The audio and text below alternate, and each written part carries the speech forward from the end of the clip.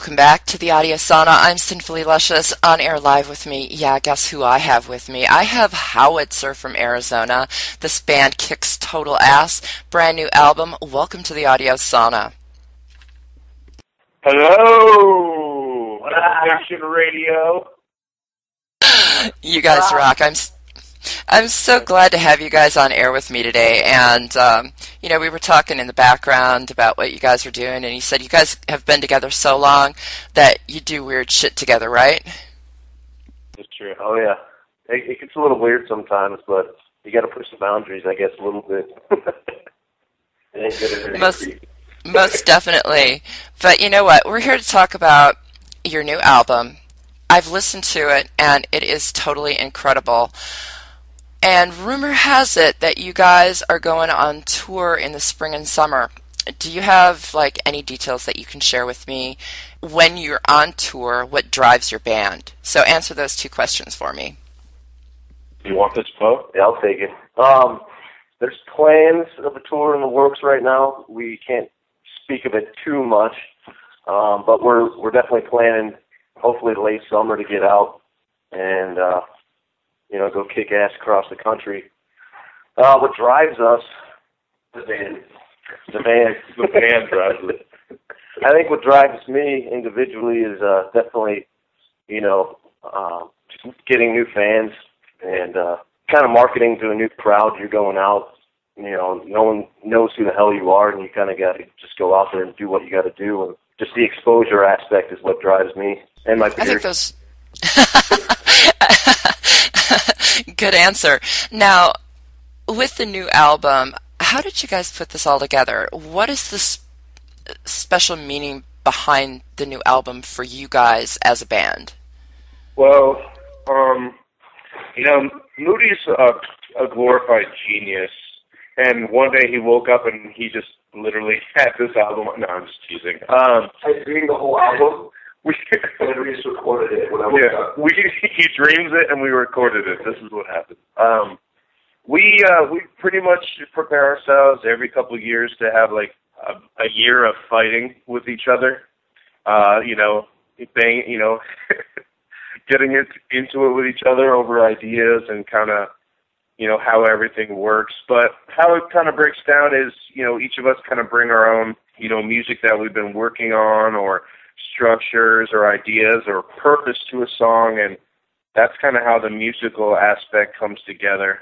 Con- I mean, I guess concept-wise of Echoes, we're just trying to, you know, write a listenable album that people can just put in and listen from front to back.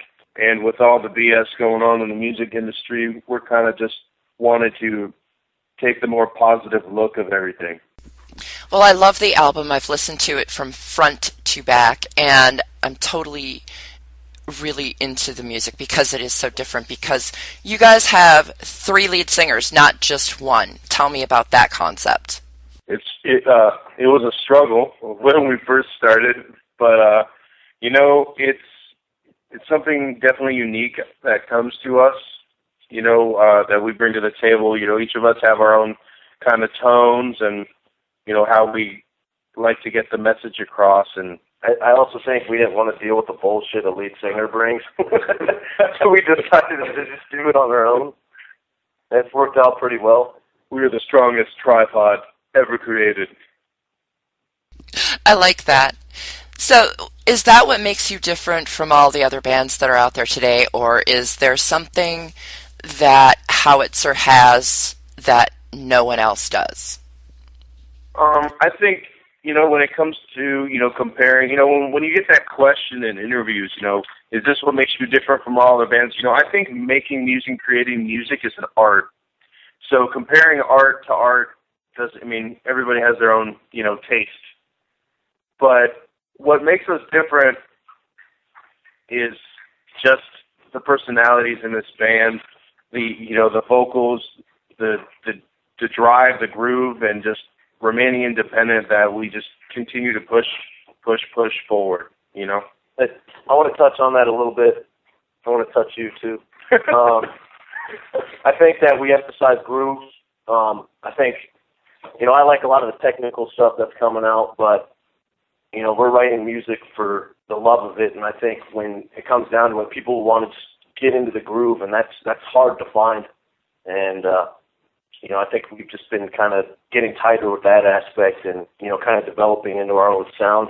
I think that's something that was bigger back in the you know the 70s and the 80s, and it's kind of gotten lost in the last few years. So we're trying to bring that that back to the music. I like that answer. Well, you know what we're going to do right now? We're going to go ahead and play another one of your tracks. This next one coming up is called The Vision. What is this song about? Um, when I originally wrote this song, I was super pissed off, um, which usually most of my lyrics come out of. But it's usually it ends up being a really positive message and right message for you know whether it be for me or what people take from it. But you know, it's it really t- breaks down to putting everybody else's opinions aside and following what you you believe in and what you want to come out of a situation and that will be your vision. Well, let's hear it right now on Metal Nation Radio. Here's Howitzer and the Vision.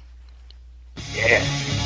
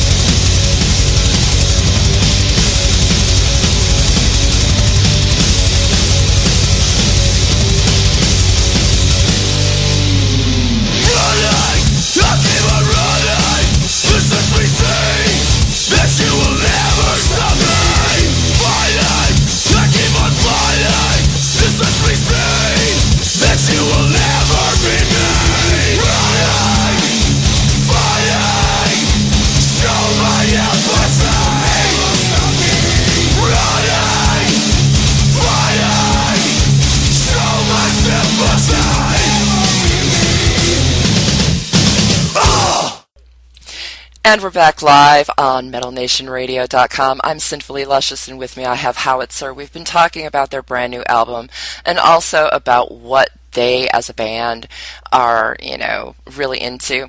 In fact, um, we were laughing about van stories as we were playing the last song, The Vision, and I was telling them about a band that I interviewed that got stuck in Cowfield, and they were saying, "Well, yeah, we have our our number of van stories out on tour." So tell me about one of your van stories. Oh no. Um, I think it usually starts out with Moody, Moody in the back cuddling with somebody, but uh, we uh, um, Teddy is not somebody. Teddy is not Ted. Um, we were. uh Should I tell you about the Odessa trip or no? Is it Odessa? Which one was that? The one where got, the cop wanted to argue with me.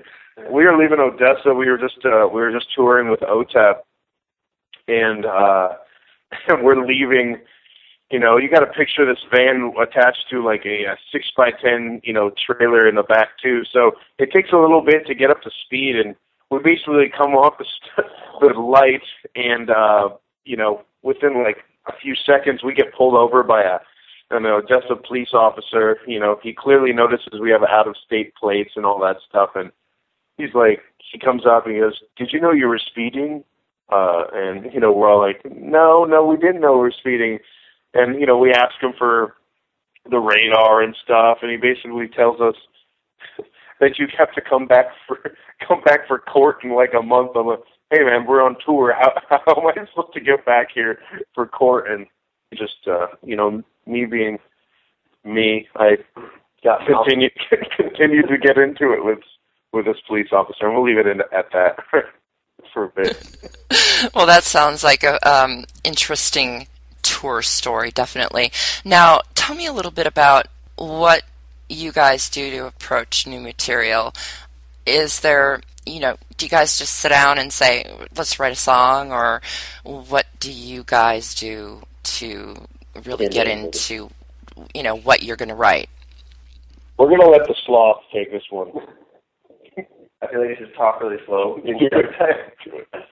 I don't know. It just kind of comes when it comes. Um, it, it's just when that inspiration hits you at different times and, and from a whole lot of different places. Uh, except for Jeremy, where it's always just anger and wanting to destroy things, and then he writes a song that sounds awesome. But you know, for me, it can be listening to any kind of different music. I've, I've picked up um, riffs from like hearing cars passing, stuff like that. I know it sounds weird. It, just Birds whistling. birds whistling, trains going down the track. The wind, Woody Woodpecker. Small, ba- a small, riff that was from Woody Woodpecker one time. It was inspired by the Woody Woodpecker song. small baby's heartbeat. so it, it, it's really anything. I mean, it's, for me, it has to be like more of a specific song, and I could tell you more about where that one thing came from. But yeah, for, for me, when I'm writing stuff, it's from all over the place. So it's kind of like you have an overload of information, and then you just like sit down and, and, and take care of it on, on paper or whatever with a riff or or with lyrics. Yeah, I think more lyrically that that's how it works lyrically. They riff wise, that's more where you know I can hear something out in when I'm walking around or whatever, or on TV or you know someone else's song or something like that, and kind of hear an idea, and then that turns into we take it to the house or machine, which I show it to the guys, and then Jeremy always says, "Well, this isn't uh, this isn't good enough." so he they take it home and comes back two weeks later with the the you know twenty times improved riff that we that ends up on the record. Well, as, for as long as you guys have been together, which is nine years now, what keeps everything fresh for you guys? We uh we usually plan at least a quarterly cuddle session. Um, Lots of Febreze. a lot of Febreze. You know, thank you Febreze. Baby wipes. Febreze at your the store near you. Um, you know, I think that keeps it fresh is you know we always are we try to always stay on the same page about stuff and always keep it in the open and you know and, and writing new material and actually you know with all the a lot of the music lately that's been released there's a lot of um how do you say it? A lot of music's been stale in my opinion. Um so you know really working hard to get out there and finding finding your inspiration is always i think key to keeping things fresh. And on that note, you know, what are your thoughts about what has happened to the music business? Is it easier to for you guys to make music now, or was it easier in the past? And how do you feel um, about digital downloading as opposed to physical, tangible patch, packaging? I think we're like the first generation of people that kind of grew up with that. You know, uh, we, we've never like thought that someone's going to come down and give us a multi-million dollar contract. It just it's not reality anymore. So we've always done everything ourselves and, and, and done it for ourselves and for the people that enjoy our music. So, um, you know, more power to, to being able to do it easier. It's definitely easier. You know, we we put out our own CD and you know uh, we go to the studio here in Arizona and work with the guy here, and then we send it off to a company, and then you know we need to work with designing all the artwork ourselves. Um, you know, and, and do all that stuff that in the past, like a bunch of other people would have done like like producing, we we produce the stuff ourselves. Uh, we don't have anyone to help us with that because we do it ourselves. So we've done everything DIY the entire time we've been a band. So I guess we just don't even know anything else. Yeah, I think also you know when you you know ask you know what's the difference in making music. I think we've always made music the same way, and we always kind of stand behind. You know, I think as a band, it's like you know, no matter how you get your music, get your music. Go out and get your music. Download it, buy it. You know, we prefer that you don't steal it, but if that's how you're going to do it, and you you know, then then do it. But you know what? Out of all that, make sure when that band comes to a city near you, or a town near you, or a church near you, or a synagogue near you, you get out there and you see them play, and you go support them live. You know, if that, if, you know, no matter what, no matter how you get your music, get out there and support the band. That's right. Occupy a venue, definitely. Now, is there anything that you guys want to say to your fans and let them know how to get in contact with you and where they can buy your music? You pretty much can get Howitzer music off of every single digital download site available, most uh, indie shops in your area. Um, you can get it through cdbaby.com, amazon.com. You know, come and visit us and and join yeah, and, and join and join us on Facebook, Twitter, uh, everywhere. HowitzerAZ.com. Um, find us on yeah, find us on uh, iTunes. We uh, we also just got recently added to Pandora Radio. So if you're into that, be that, get there. And uh, we just really want to thank you know radio stations like you know Metal Nation Radio and yourself for you know doing what you guys do and you know, not asking for anything in return is just awesome of you guys. Well, this is what we do. You know, we we want to help bands like you get your music out there and of course be heard by the world and that's why we do what we love. Listen to you guys and other bands throughout the world. Well, we appreciate you. Thank you.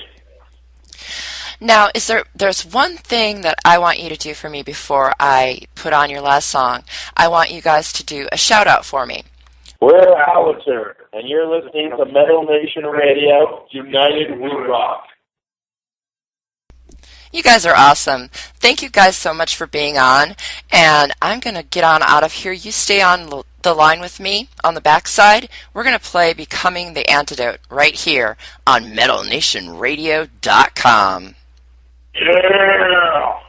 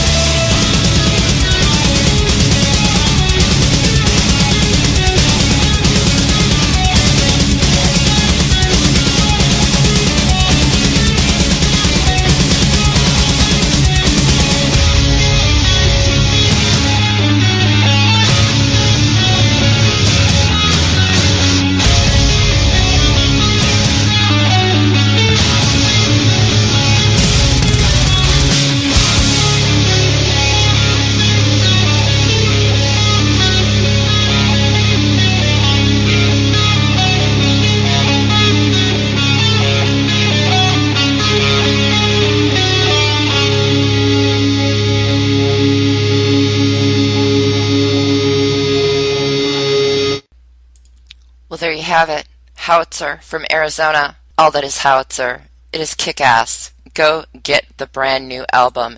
It is called The Echoes of Prometheus. Go get it on Amazon.com, iTunes, CD Baby, wherever you can download digital music from. It is awesome. Loved having them on air. They were a great interview. Look forward to having them on air again when they can tell us more about uh, their quote tour plans. Well, I'm Cynfully Luscious. This is the Audio Sauna. We're live on Metal Nation Radio, where united we rock. And if you have not come over to our site, please do. MetalNationRadio.com.